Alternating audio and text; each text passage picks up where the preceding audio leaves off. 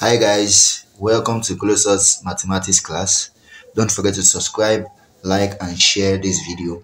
In today's class, I want to talk about how to use the calculator to find the mean, the frequency, sum of frequency, and the sum of f of x, and the standard deviation and variation using your calculator shortcuts. As you know that in Colossus Mathematics class, we give you shortcuts on daily basis on how you can use the calculator very well. So in today's class, I'll be explaining how to use the calculator to solve questions like this. So permit me to explain this. So if I have a question, I have x equals to 5, 7, 8, 10 and 12 so this is my class mark and then i have my frequency to be 3 7 8 1 3 then your summation fx as you all know is 5 times 3 which will give you 15 7 times 7 49 8 times 8 64 10 times 1 10 12 times 3 36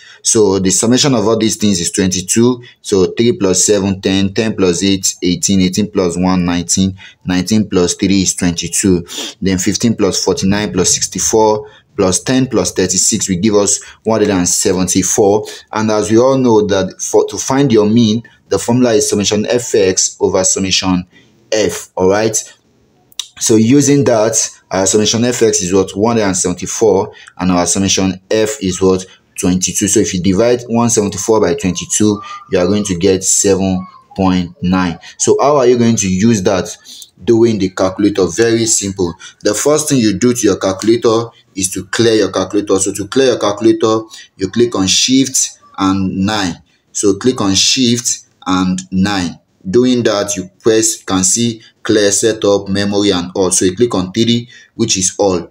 So if you click on 3 all then you click equals to equals to again right so you've been able to clear your mm, um, calculator successfully now. So the next thing to do is to go into this shortcut. And what's the first thing you do? Click on shift and mode.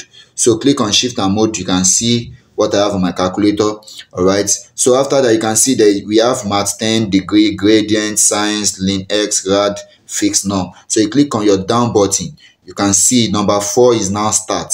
So stat click on 4 all right so you see frequency on or off. So you click on 1 and you on your frequency. So it is on it is back to the normal way now. So the next thing to do is to click on mode. So clicking on your mode you can see statistics again on our number three. So click on statistics number three. So you can see this our particular table is one variable. So you click on one one. So click on one. You can see that it brings out the table like this of x now. You can see that. So i have x i have x on my calculator also. I have f i have f on my calculator also. So now the next thing is to impute your values. And how do you impute your value?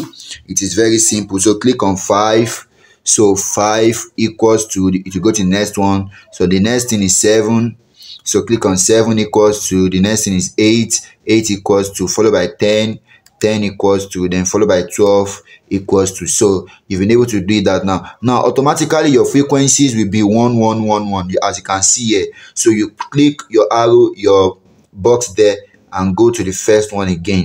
So you're on the first one now. So you click the first one which is 3 equals to 7 equals to 8 equals to 1 equals to then 3 equals to so you've been able to do that now. You can see that on my calculator. You can see that all the numbers are complete now. So after that click on AC so click on AC you can see your AC here. So if you click on AC you can see everything go back to normal. So after that the next thing to do is to now get your answers. And how do you get your answers? Very simple. So just click on shift then number one you can see sum so if you want to get the sum the sum means if i want to get like summation f if i want to get summation fx i'm going to click on my sum but it will only be giving me for summation fx so if you click on 4 you can see summation fx you can see summation x and summation fx so our summation x here is the same thing as our summation fx on this our calculation. So if you click on 2 now automatically it will be on zero but you have to click on your equals to sign. So you can see that i have 174 here as i have on my workings also. So i have 174 here as i have on my workings also. Then the next thing is to get our f which is 22 so if you click on shift again and uh, one so you see number five click on number five var.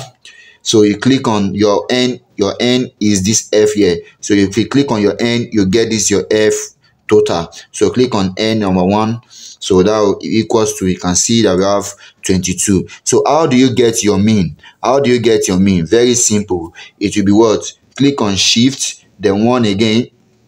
Go to var number five then click on this particular sign.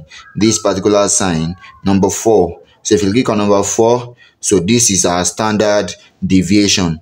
So this is our standard deviation. And we all know that standard deviation is the square root of our variance. So that means if you square this answer it will give you the variance. So this will be the variance of this particular data. All right so this is where we are going to stop for today. Don't forget to subscribe to this channel like and always share this video. In my next video i'll be talking about how to use calculator to find the regression and other shortcuts you need to know on your calculator. Don't forget to share this video. If you have any question you can use the comments section and i'd love to have your questions. Thank you very much and do have a great day